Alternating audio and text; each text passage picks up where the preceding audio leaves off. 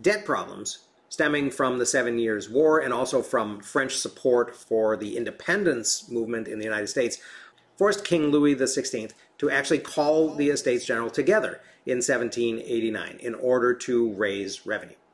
The Estates General hadn't been called since 1614, and its meeting was immediately seen as an opportunity to create a new parliamentary monarchy.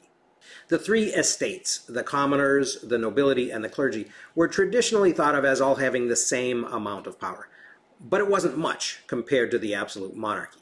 In 1789, the commoners were dominated by educated merchants and by large landowners who advocated for establishing a British style parliament as a check on the king's power.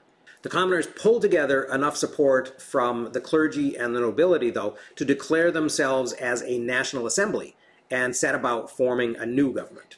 Dissatisfaction with the current government and excitement over the possibility of establishing a new one inspired the people of Paris to form militia groups to defend the National Assembly from royalist attacks.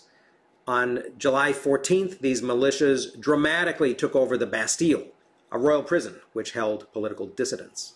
In August, the National Assembly agreed to a Declaration of the Rights of Man, which claimed natural law as the basis for equal rights for all and called for liberty, property, security, and resistance to oppression.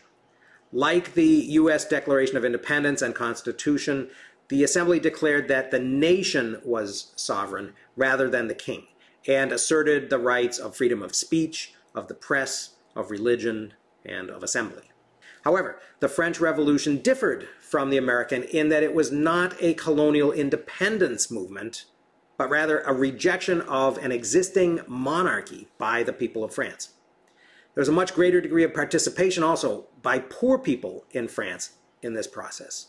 And the social changes that were attempted by the new government were much more significant than simply replacing a British ruling class with an American one, as the revolution had more or less done in the United States. Unfortunately, the power vacuum created by the complete elimination of the prior government structure resulted in the rise of a radical Jacobin party led by Maximilien Robespierre.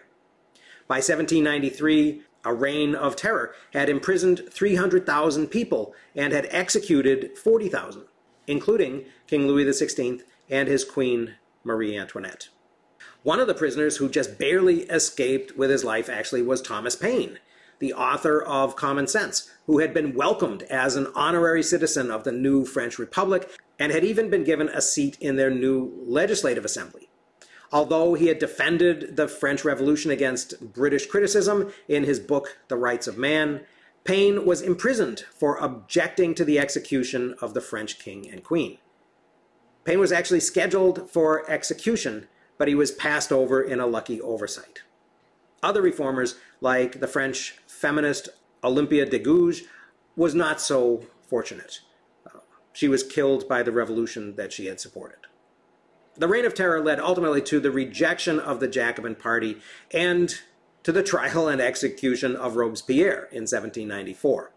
A more conservative government called the Directory was installed, but it failed to manage an orderly transition from the old regime to a new style of Republican government.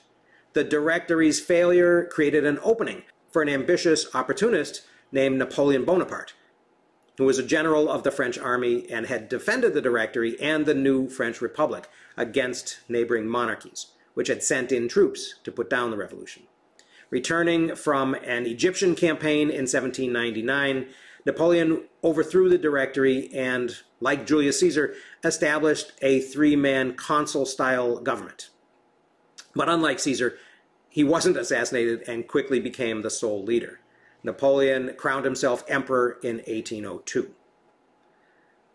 So, before we go on, question for discussion. How was the revolution in France different from the revolution in America?